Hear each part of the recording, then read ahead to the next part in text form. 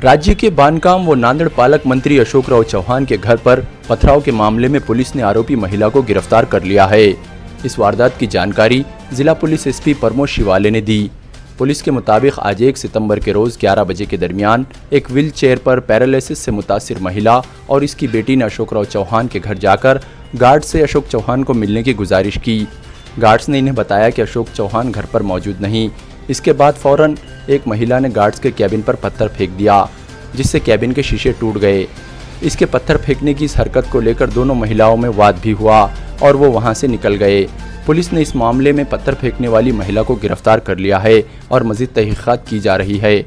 महिला की मानसिक परिस्थिति को लेकर पूछे गए सवाल पर पुलिस एसपी ने बताया कि ये जाँच का विषय है और जाँच के बाद ही इस बात का पता चलेगा। अ, सकाळी साधारणतः पावणे अकराच्या सुमारास एक महिला जिचं नाव आहे सीमा वामन घन ही पॅरालिसिस झालेली आहे.